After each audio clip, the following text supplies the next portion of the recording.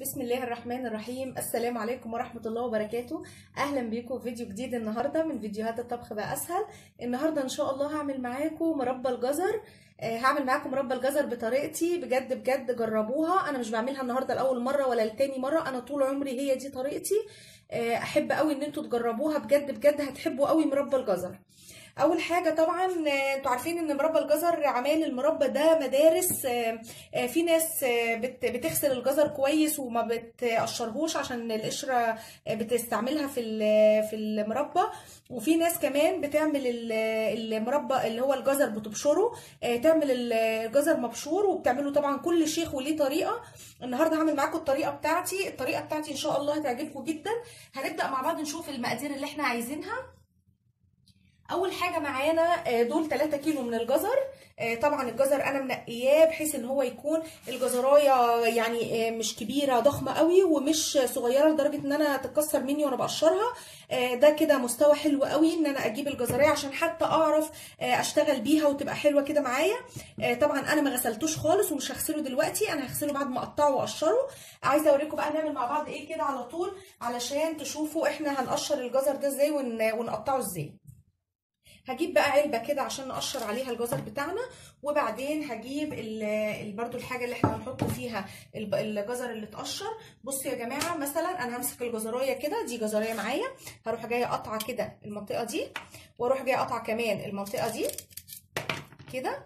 وبعدين أبدأ بقى بال... بأي حاجة هنقشر ممكن بالسكينة لو عايزين بس دي بتسهل قوي تقشير الجزر كمان ما بتاخدش منه كتير. يعني بصوا بنشيل كده إيه ب- آه، بيدوب تشيل القشرة بطريقة خفيفة ونظيفه وحلوة آه، بتساعدني كتير إن أنا أقشر الجزر بتاعي في ثواني. تمام؟ أهو. كده. طبعا أي حتة زي دي كده زي دي كده طبعا جزر كتير بيبقى فيه الحركة دي بشيلها خالص. أنا عايزة جزراية نظيفة وسليمة عشان أنا آه، يعني هعمل مربى تبقى المربى بتاعتي معمولة بثمرة نظيفة وحلوة. دي مربى الجزر. عايزة أقول لكم يا جماعة إن أنا ما قلتش المقادير لأن أنا لسه هقول لكم هنعمل إيه. بصوا أدي الجزراية قشرناها وظبطناها. قشرناها وما خليناش فيها أي حاجة. أهي. خلاص كده دي نظيفة. نعمل كمان واحدة كده.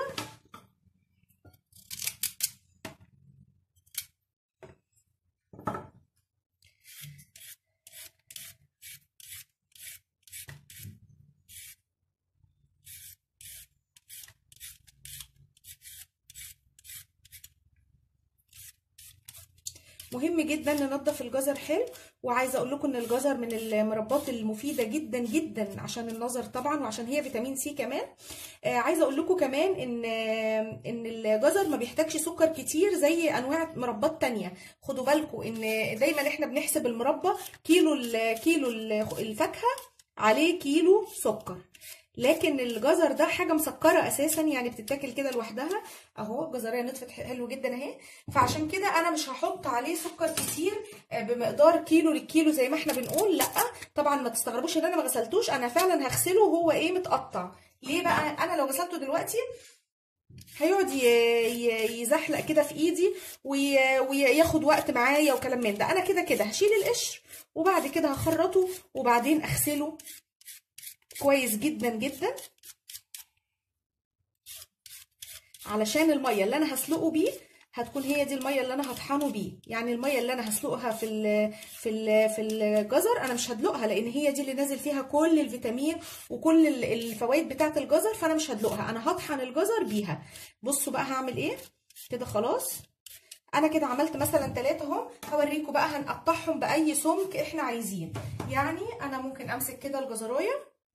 أي سمك ليه يا جماعة؟ لأن أنا هسلقه. أنتوا عارفين إن أنا كده كده هسلقه. فأنا دلوقتي هعمل إزاي؟ همسك كده الجزراية. بصوا مثلا السمك ده هنمشي بالسمك ده كده بحيث أهو. قد إيديكم ما تجيب بحيث إن أنا كده كده هسويه. تمام؟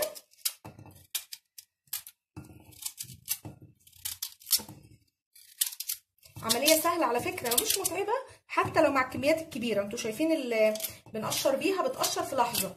وطبعا هو الجزر حاجة حلوة ومتماسكة مش هتضايقنا في حاجة. أهو دواير وخلوا بالكم أي يعني قطر قطر الجزر بيختلف عن بعضه مفيش مشكلة. أنا كده كده هحط عليه مية وهسلقه. ومش هحط حاجة على المية وأنا بسلقه. أنا هسلقه بس. تمام؟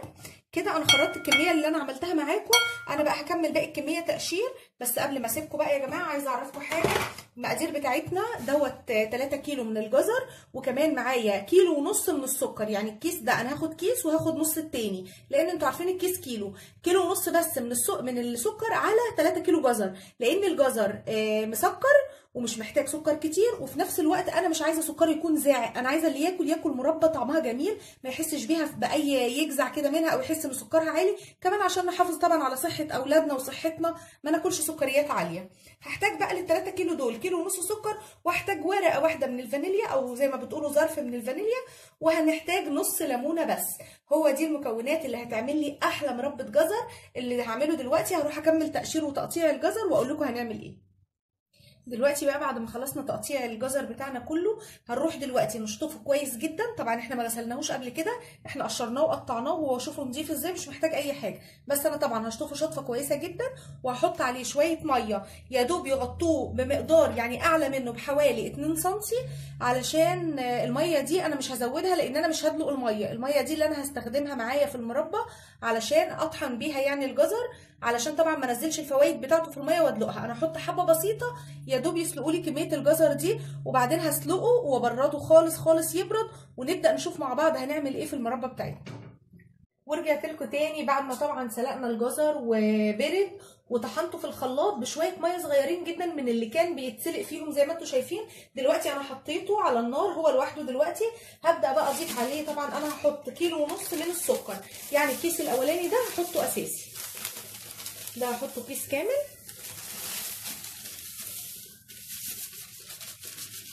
والكيس التاني هحط يعني نصه كده أقل من نصه زي ما أشوف كده الموضوع إيه هيحتاج إيه. بس عايزة أقول لكم إنه فعلا هو كيلو ونص ال 3 كيلو هياخدوا كيلو ونص من السكر عشان يا جماعة المربى تكون بتلمع كده وتكون طعمها حلو. هي اسمها مربى هي حاجة مسكرة ويعني إيه سكرياتها مظبوطة وعشان يكون الجزر بتاعنا بيلمع كده وحلو.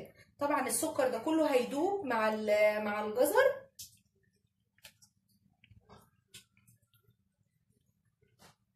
طبعا النار شغالة عليه عالية دلوقتي عشان إن شاء الله مجرد ما يغلي شوية كده هسيبه يغلي حبة يطلع البخار اللي فيه بسرعة عشان ما ياخدش معايا وقت. خلوا بالكم كل ما تحطوا مية كتير في الجزر كل ما هياخد وقت طويل معاكم في إن هو يركز ويوصل للنتيجة النهائية بتاعتنا. طبعا أنا معايا النص الليمونة اللي قلت لكم عليها بس طبعا ما بتتحطش دلوقتي. تتحط في الآخر لما خلاص ألاقي إن السكر بتاعه خلاص المية قصدي بتاعته يعني طلعت منه وبدأ يقرب يركز بحط نص الليمونة وبعديها تقلبتين وخلاص. ليه؟ علشان الليمونة اللي تساعد إن هو إيه يركز ويديني القوام الأخير اللي إحنا عارفينه اللامع الجميل بتاع المربى كده بقى أنا هسيبها تغلي. طبعا عايزة بس أقول لكم قبل ما أسيبكم لو طبعا عملت أي ريم أو أي حاجة طبعا والجزر بيغلي. كان بيعمل ريم كده خفيف على الوش كنت بشيله وبنضفه. دلوقتي نفس القصة بمجرد ما الجزر دلوقتي. اللي هو المطحون معايا. بمجرد ما يعمل برده ريم أنا هشيله. هظبطه كويس جدا وهرجع معاكم تاني في مرحلة معينة أقول لكم هنعمل إيه. دلوقتي إحنا هسيبكم على إن أنا سايباه على عين عالية. هيدنه يغلي على العين العالية براحته خالص بس طبعا ما نساهوش عشان ما يتلسعش من تحت. خلوا بالكم كمان الحلة اللي هو محطوط فيها لازم تكون النوعية دي أو حلة اللي هي الحلل التيفال حلل جرانيت أي حاجة تكون شوية بتتحمل عشان ما يلزقش معايا من تحت. ما ينفعش أجيب حلة رقيقة أو القاع بتاعها رقيق وأحطها عليها يروح ملسوع مني بسرعة. دي طبعا حلل بتتحمل فإحنا بنحط فيها عشان كده. اهو أنا خلاص كده دوبت السكر وهيدنوا بقى لغاية ما يغلي. هرجع معاكم تاني عشان نشوف هنكمل إزاي. دلوقتي بقى زي ما أنتم شايفين المربى بتاعتنا قعدت تغلي براحتها خالص وطبعا غرقت الدنيا وطرطشت الدنيا لأن أنا مش حاطة عليها غطا. ما ينفعش يا جماعة أحط غطا على المربى وهي شغالة وإلا هتلزق مني من تحت وهاخد نتيجة مش كويسة. بصوا بقى كمان عايزة أقول لكم لو لزقت معاكم من تحت هتدي طعم في المربى كلها مش حلو. يبقى إحنا بوظناها. دلوقتي بقى زي ما أنتم شايفين أنا حاسة طبعا لسه في بخار طالع أهو يعني لسه في مية فيها. بس طبعا في المرحلة دي بقى أنا هبدأ أحط الليمونة بتاعتي علشان أنا حاسة إنه تقل كده وتخن. مش عايزة أكتر أكتر من كده. عايزة أحط الليمونة بتاعتي نص الليمونة علشان بس وهي بتتحرك كده وبتغلي تبقى تبدأ بقى تعقد وتاخد الشكل النهائي بتاعها. فأنا دلوقتي هحط الليمون.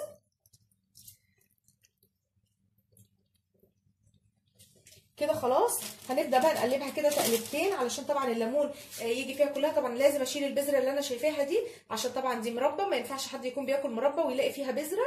كده خلاص. هنقلب بقى كويس جدا جدا وهندنينا بقى معاها لحد ما تاخد الشكل بقى النهائي اللي هي إيه بقى؟ اللي هي تجمد معايا وتلمع ويبقى شكلها رائع كده.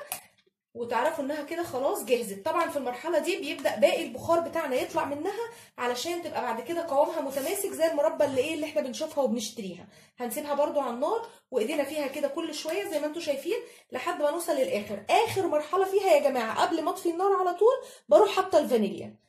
بحط ورقتين الفانيليا بتوعي وبعدين أروح طافية النار على طول. دي آخر حاجة فيها. فأنا هسيبها دلوقتي تكمل بقى تطلع باقي البخار بتاعها وطبعا كل دقيقة كده ايدي فيها واشوفها أخبارها إيه وبعدين هوريها لكم إن شاء الله بعد ما تخلص شكلها بقى عامل إزاي. كده خلصنا المربى بتاعتنا. طبعا استنينا لغاية ما وصلت لآخر مرحلة ما عادش فيها أي بخار خالص وتقلت معايا. عايزة أقول لكم بس إن هي ما تسيبوهاش لما تتقل قوي قوي علشان هي لسه هتجمد تاني. طبعا مش عارفة أوريكم هي بصوا هي هي جامدة بس طبعا لسه هتجمد تاني لما لما تقعد في التلاجة شوية.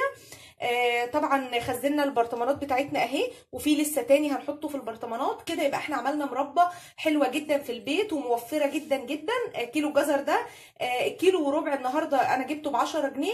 يعني ما فيش اي تكاليف خالص غير السكر وطبعا موجود عندكم في كل بيت. المهم الطريقة الصح دي طريقة جميلة جدا جربوها. هتاكلوا بقى منها على عيش التوست أو في العيش الفينو. بجد بجد حاجة خطيرة جدا. أتمنى إن شاء الله يكون الفيديو عجبكم. وطبعا عايزاكم تعملوا لي like للفيديو وعايزاكم تشتركوا في القناة وتفعلوا الجرس عشان إن شاء الله يوصلكم مني كل جديد. وإن شاء الله أشوفكم الفيديو الجاي.